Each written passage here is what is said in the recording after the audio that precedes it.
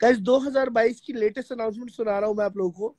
Scout grind कर रहा है जीटी आरपी तो जीटी आरपी का कॉम्पी खेलने वाला है स्काउट हाँ तो स्काउट का बता रहा स्काउट का फ़ोन आया मेरे पास, जिस दिन एलिमिनेट हुआ। मैं बहुत दुखी था। मतलब मैं मैं खुश था बट मेरे को थोड़ा दिखाना पड़ा कि मैं दुखी हूँ। तो मेरे को लगा स्काउट भी दुखी होगा। तो नहीं, पहले दिन तो सच में दुखी था।